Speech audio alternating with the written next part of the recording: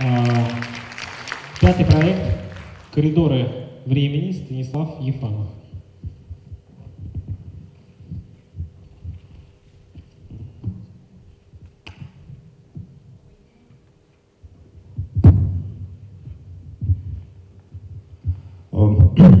Добрый день. Меня зовут Станислав Ефанов. Мой проект называется «Коридоры времени». Но начать я хочу с небольшого вопроса к вам. Вот скажите, бывает ли вас, посещает ли вас в жизни такое желание, что хочется что-то поменять в своем прошлом, какое-то отдельно взятое событие? Что-то сделал не то, или сказал не так, или повел себя как-то, или наоборот не сделал, а стоило. Вот попытку как-то поразмышлять на эту тему, переосмыслить это самое желание я предпринял в своем проекте. Итак, о чем эта история, кто ее главный герой? Раз, раз. А, две семьи живут в одном и том же доме, но с разницей в сто лет. И внезапно оказываются соседями внутри этого самого, этого самого дома, причем половина его продолжает оставаться в прошлом, сто лет назад, другая половина находится в наши дни. Выглядит это приблизительно таким образом. Пожалуйста, следующий слайд. А, что им делать? Нужно каким-то образом уживаться под одной крышей, и, в общем-то, до тех пор, пока не будет найден способ устранить этот самый временной коридор. И э, надо сказать, что это соседство доставляет героям колоссальное количество проблем и неудобств э, и доводит одного из них даже до полнейшего разорения. И э, при всем при этом э, к финалу истории герой приходит к пониманию очень существенной и важной вещи, что несмотря на все свои различия и разногласия, они стали друг для друга настоящей полноценной семьей, где есть папа, мама, бабушка, дедушка, сын, дочь. И в общем-то, это открытие настигает их в тот самый момент, когда наконец будет найден способ устранить временной коридор, и э, герой окажется поставлен перед выбором, продолжать жить в этом странном и действительно очень опасном доме, или же запустить машину времени и расстаться навсегда. Вот доминирующая тема всей этой истории может быть выражена одним единственным словом. Пожалуйста, следующий слайд. Вот это самое слово – семья. И именно с этой целью у каждого из героев присутствует в душе какая-то вот своя внутренняя заноза на тему семьи. А, можно следующий слайд, пожалуйста? Изобретатель машины времени Платон Петрович Петровский, он, в общем-то, делает машину времени с конкретной целью исправить некое событие в прошлом своей семьи, в этом его тайна, в этом его скелет в шкафу. Пожалуйста, дальше. А, Сергей Сергеевич Успехов. У него есть все, кроме одного, уверенности, что его жена, красавица, его дочь любит именно его, а не его кошелек. Именно поэтому он панически боится разорения. Естественно, он разоряется, конечно же. И понимает в конечном счете, был ли он прав на этот счет или нет.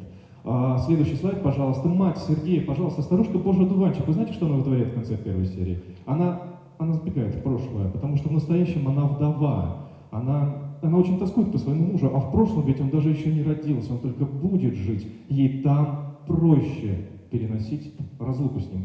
Конечно же, она тоже под влиянием других персонажей поймет, что это было неправильно, что нельзя жить призраками прошлого, что, что нужно ценить момент, когда ты сейчас рядом с родными, любимыми людьми, кого сейчас можно обнять, сказать спасибо, что ты есть. Вот во всем этом состоит как раз-таки драматическая часть истории, ее ядро драматическое. Но, не будем долго грустить, а переходим к комической части, это все-таки драмеди, комедия, драма. Пожалуйста, следующий слайд сейчас станет чуть повеселее, потому что вот почему. Потому что, знаете, Россия такая страна, где для того, чтобы перенестись на сто лет назад, совсем не нужна машина времени. А нас туда каждое лето на две недели отправляет обычный районный ЖЭК, совершенно бесплатно, отключая нам воду. А, и, в общем-то, да, в этом содержится как элемент комизма, но в то же время, в этом же, сейчас снова станет чуточку грустно, в этом же и наша трагедия, национальная драма. И ни в коем случае нельзя бояться поднимать эти темы, обсуждать эти темы. Вот коллега передо мной сейчас тоже выступал. То же самое, все это сводится к трем «Д» – дураки, дороги, деньги. И, к сожалению, в общем-то, это нас сопровождает в течение нашей истории. Но это тема для разговора, как минимум. На, на эти темы можно смеяться, высмеивать, иронизировать, в конце концов. В этом состоит тематическая актуальность проекта. А, что еще мне хотелось бы добавить, если можно следующий слайд, там, с технической информацией. А, актуальность проекта заключается еще также в том, что ну, не так уж много, если честно, я могу назвать проектов отечественно, на отечественном экране, которые бы задействовали вот время как сюжетообразующую, а, как сюжетообразующий компонент а, в проекте. Ну, хотя, признаться, этот питч меня удивляет.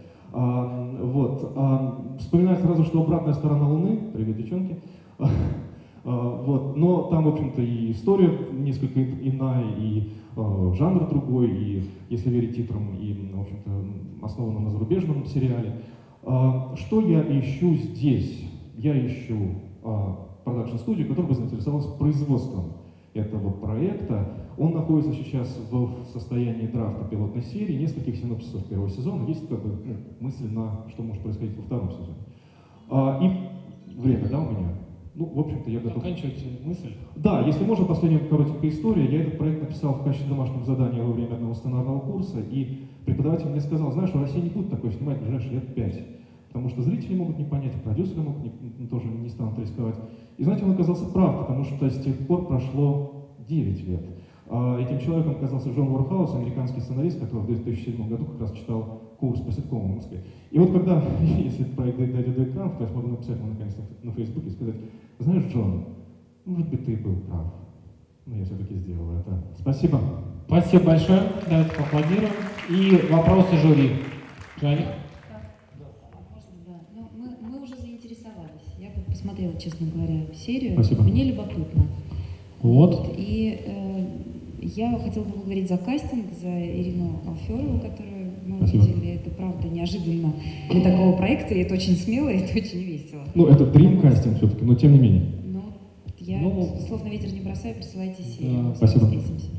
Студия «Среда». А мне вот интересно все-таки понять, э, насколько мера условности высока. Меры условности. Ну, скажем так, сейчас проект находится в такой стадии, что из него можно, ну, как вот из куска сырой глины можно лепить все, что угодно. Можно его делать острее, можно его делать чуть более э, комедийным. Он изначально задумался как ситком, он был делан на курсе, сделан на курсе ситкома, но потом, вот все-таки 9 лет прошло, я почувствовал, что вот мне не хватает все-таки в героях какого-то вот э, драматического какой-то составляющей. Все-таки не хочется делать их как пародию на Букиных. А, вот, то есть карикатурности совсем от нее хочется уйти. Поэтому, опять же, можно обострять и проблем, про- про- проблематику сериала можно обострять. Можно, это будет зависеть, видимо, от, э, возможно, канала, который бы проявил интерес. То есть понятно, что одна аудитория, у одного канала аудитория чуть более семейная, у другого чуть более хулиганская, возможно. То есть здесь, возможно, вариации. Поэтому, опять же, это все процесс работы. Если я ответил на ваш вопрос.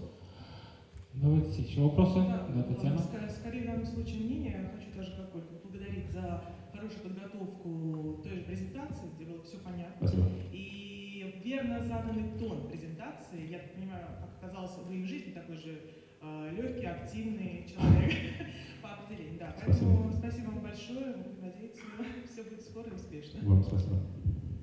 Спасибо. Еще есть комментарии?